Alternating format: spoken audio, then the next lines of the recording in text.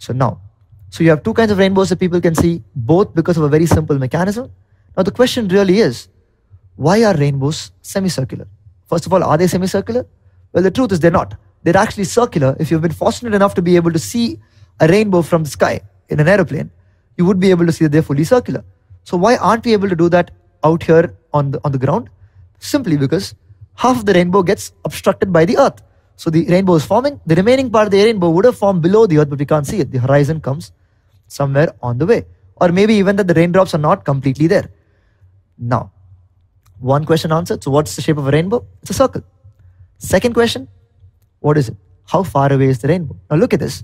There is a particular angle at which sunlight should enter those raindrops for us to be able to see either a first order or a second order. So let's take first order for example. So there exists a particular angle at which the raindrops should be from us for us to be, be able to see a rainbow through them. So there exists raindrops that are suitable for a rainbow. Now clearly, any raindrop along that angle will create a rainbow for us. But how many such raindrops exist? If world was 2D, if it was flat land, only one. But the world is three-dimensional. So if I was to take that and circle it around, what would you get? A complete cone. So every raindrop along that cone has or contributes to a rainbow. So it's pretty much like this. If you're standing out there, a cone of raindrops away from you, each of, each of those raindrops on that cone are creating a rainbow for you. Brilliant, right? So where exactly is the rainbow? Is it far away? Is it close by? It's everywhere.